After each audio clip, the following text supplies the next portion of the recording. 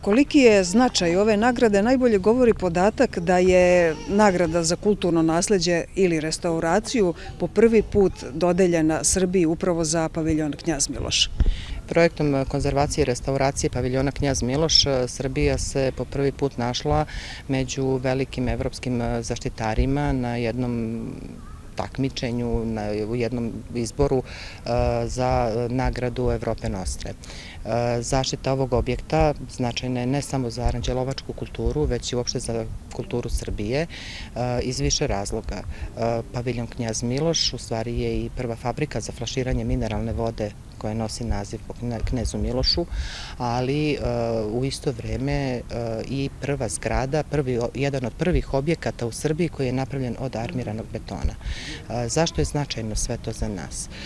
Sama zaštita ovakvih objekata bitna je za celu Srbiju, prvenstveno zato što ćemo na taj način to kulturno nasledđe koje smo mi nasledili od naših predaka na neki način sačuvati za buduće generacije i zato što su ti objekti upravo izvori prvog reda za proučavanje istorije našeg naroda u 19. veku ili može čak i ranije. E, do sada je kulturi i zaštiti kulturnih dobara u Srbiji posvećivana manja pažnja. E, nećemo da kažemo da se nije posvećivala uopšte. Sredstvima koje je Ministarstvo kulture i informisanja moglo do sada da odvoji za zaštitu kulturnih spomenika, uglavnom su e, štićena sakralna dobra, najveća pažnja je posvećivana uglavnom manastirima i crkvama, međutim zaštita paviljona Knjaz Miloš je jedan od redkih, ako nije i prvi spomenik kulture e, koji ne spada u sakralne spomenike, jeli, koji je ipak vezan za e, tradiciju i za kulturu uopšte naroda našeg.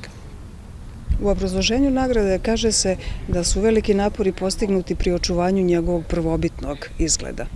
Da, prilikom projektovanja i planiranja radova na paviljonu Knjaz Miloš velika pažnja je posvećena tom prvobitnom izgledu. Arhitekta koji je projektovao paviljon Knjaz Miloš, Branko Tanazević, projektovao je paviljon tako da jedan deo objekta služi kao fabrika za flaširanje i puteliranje mineralne vode, dok bi drugi deo objekta bio dostupan banjskim gostima koji su mineralnu vodu koristili u terapijske svrhe.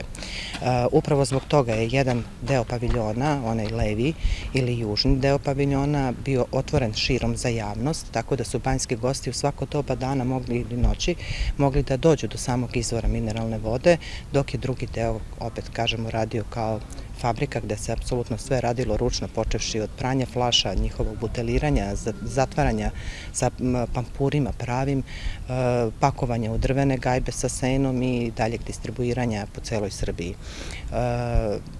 Prilikom izvođenja restauratorskih i konzervatorskih radova pažnja velika je posvećena tom autentičnom izgledu, e, tako da e, je paviljon, u stvari paviljonu vraćen taj prvobitni izgled. E, u međuratnom periodu kada je rađena poslednja neka zaštita i e, poslednji radovi kada su rađeni na objektu, e, taj južni deo je bio potpuno zatvoren i nepristupačan za banjske goste, nije se moglo prići izvoru sa te strane. E, radovima koji su sprovedeni poslednjih godina i 2017. godine kada je otvoren za javnost restauriran i konzerviran paviljon Knjaz Miloš, ponovo je dobio onaj izgled kakav je imao 1907. godine kada je i napravljen.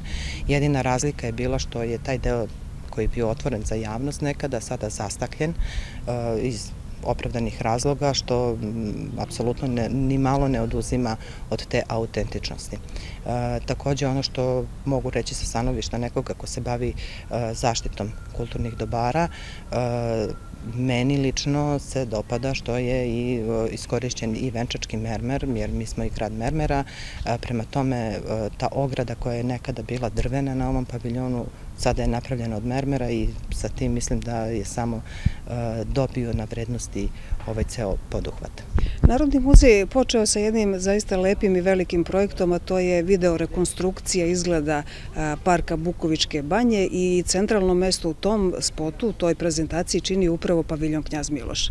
Da, paviljon Knjaz Miloš mora da predstavlja centralno mesto jer tu se, on je podignut na mestu starog izvora mineralne vode koji je 1839. godine kaptiran. Kaptiran je naime zbog dolaska kneginje Ljubice Obrenović i njene čerke Perke ovde u našu banju i 907. godine Aranđelovačka konzorcija, to je društvo koje u to vreme imalo pravo eksploatacije mineralne vode, rešilo je i kaptiralo je ponovo taj izvor, tom prilikom povećalo njegovu izdašnost, ali i podiglo ovaj prelepi objekat nad samim izvorom. Samim tim, taj izvor Knjaz Miloša sa njim i paviljon Knjaz Miloš predstavljaju okosnicu cele priče o našoj banji i mesto odakle se banja krenula uopšte razvijati. Sve što je kasnije urađeno ovde na teritoriji parka današnjeg Bukovičke banje vezano za smeštajne kapacitete, za otvaranje izvora, za topla kupatila, hladna kupatila. Ništa toga ne bi bilo da nije bilo izvora Knjaz Miloš i da nije bilo paviljona Knjaz Miloša.